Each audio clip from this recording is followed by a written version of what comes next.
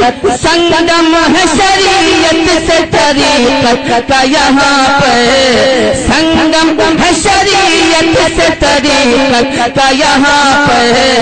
संगम है शरीयत से तरीकत का यहाँ पर।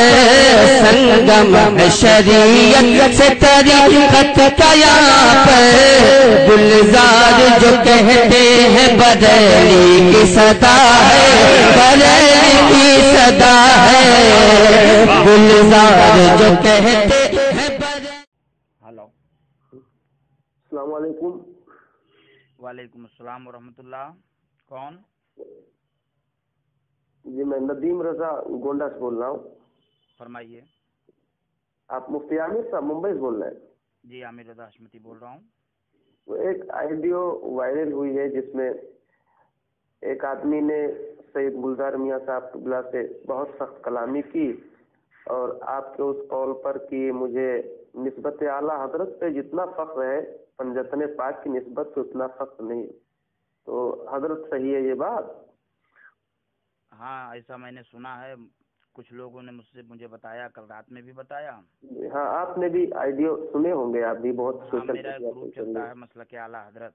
जी जी उस पर भी किसी ने सेंड किया था मैंने देखा इत्तेफाक से मुझे बेहद तकलीफ़ हुई।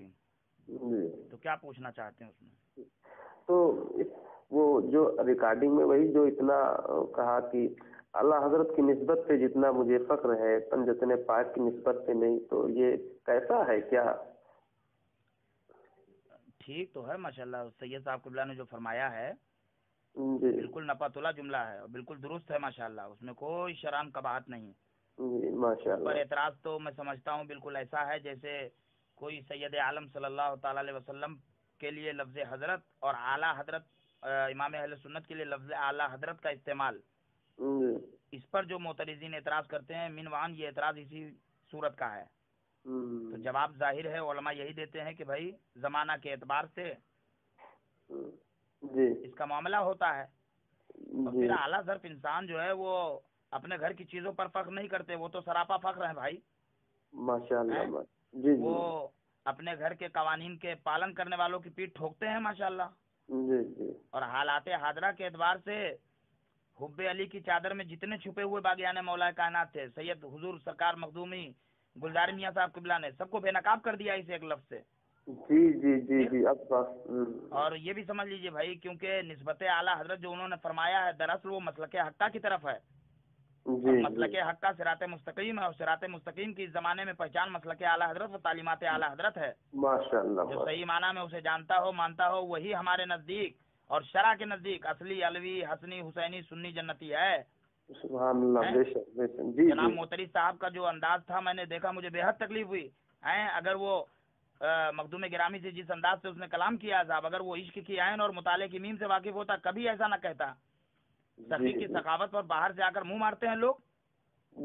ताजुब है हम्म, उसको तो मैं तो चाहता हूँ अगर आप रिकॉर्डिंग कर रहे हो भाई तो मेरी मेरी ये रिकॉर्डिंग भी आम कर दो ताकि उस तक ये बात पहुँचे बेवकूफ़ जाहिल तक। हैं? हम्म, कि आशिकी आशिकी की बात कर रहा है सैयद साहब किबला को तमीज सिखाने चला है। अबे सुन कहना आशिक ने दो कदम पे दरे यार पा लिया आलिम का खानदान अभी तक सफ़र में है।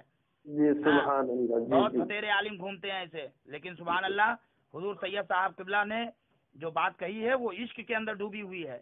नबी तुली है। और अगर उसे एतराज़ करना है देखिए बहुत अच्छा जुमला आ गया जहन में बाबू। जनाब कि अगर उसे एतराज़ करना था तो ये एतराज़ उसने हुजूर गुलजार मिलत पर क्यों किया? बहुत जी। पहले आबरू अशरफियत मखदूमुल मरतबत हज़रत सैयद शेखुल इस्लाम मदनी मियाँ साहब किबला ने फरमाया है। फरमाते हैं कि मैं नसबन सैयद हूँ मजहबन हनफी हूँ मसलकन बरेलवी हूँ और मुझे बरेलवी होने पर फख्र है।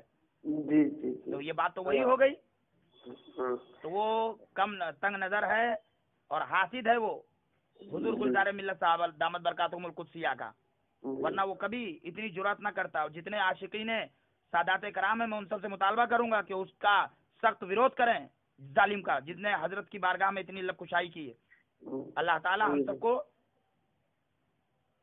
जो है साबित कदमी अता फरमाए सैयदों की तादीम और तकरीम का। हाँ बात समझ में आ गया। वही मैं भी सोच रहा था कि ये कैसे जमाने के एतबार से तो ठीक ही है। बाकी सब ठीक है हज़रत साहब? बस बस दुआएँ माशाल्लाह दुआ में याद रखिए। ठीक है वालेकुम। वालेकुम सलाम।